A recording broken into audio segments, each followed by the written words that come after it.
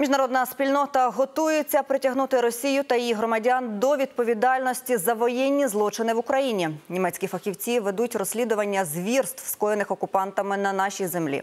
Сполучені Штати вперше віддали конфісковані активи російського олігарха на відбудову України. А Євросоюз розпочне створення в Гаазі міжнародного центру з розслідування злочину агресії в Україні.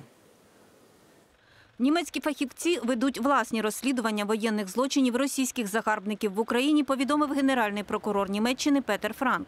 Зосередилися на масових вбивствах у Бучі атаках на цивільну інфраструктуру. З березня зібрали вже сотні доказів для майбутніх судових справ, які, за словами генпрокурора, розглядатимуть чи то в Німеччині, чи то із закордонними партнерами, чи в міжнародному суді.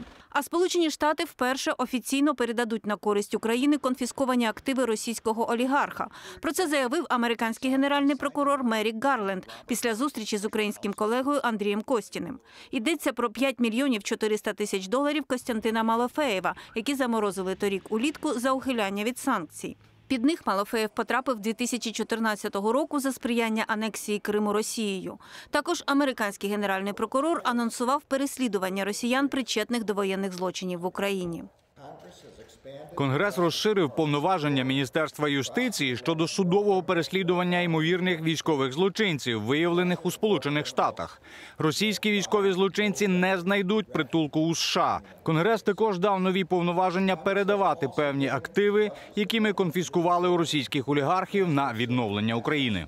Андрій Костін подякував американцям за рішучі зусилля та підтримку, і, зокрема, стосовно притягнення Росії до відповідальності за агресивну війну проти України.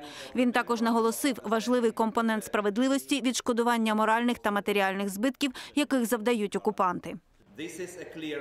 Це чітка заява. Міжнародні злочини не залишаться безкарними. Імунітету не буде. Ми також усі знаємо, що міжнародні злочини вчиняють конкретні особи. Тож лише тоді, коли вони будуть притягнуті до відповідальності разом із Російською Федерацією, можна буде вважати, що справедливість звершилася.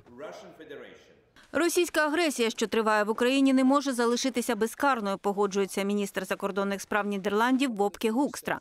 Він заявив, його країна схвалює пропозицію Єврокомісії створити в Гаазі міжнародний центр з розслідування злочину агресії в Україні. Про таку ініціативу оголосила президентка Єврокомісії Урсула фон дер Ляєн під час візиту до Києва. Оксана Лотоцька, факти ICTV, Єдині новини.